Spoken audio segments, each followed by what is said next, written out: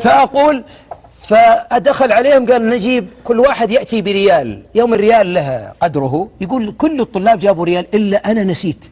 يقول يا شيخ أنا ماني فقير. أنا مات والدي لكني أغنى من أستاذ إبراهيم هذا. أنا أغنى منه. لأن والدي ترك لي مال لكني أنا أحتاج إلى رحمة.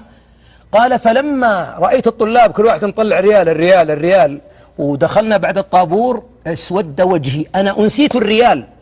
وخشيت أن الطلاب ينظرون إلي بعين اصطغار تصغير أو احتقار. فجلست واجم ولاحظ الأب يعرف يقرأ وجه الابن ولا لا؟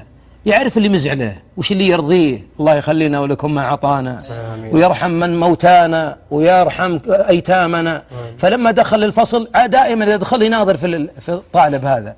شاف فهد وجهه وعينه متحجر بها الدمع. قال يا شباب صفقوا. قاموا صفقنا قال هذه تصفيقة الفهد لأنه عطاني في الطابور قبل الحصة أول واحد عطاني ريال وطلع ريال من جيبي. والله لا عطيته ولا جيته. لكن يبغى يرمم هذا البناء المتصدع في قلبه قال يا شيخ والله لي الآن ثلاثين سنة أضحي مع له مع والدي كل عام. وحججت عنه مرتين.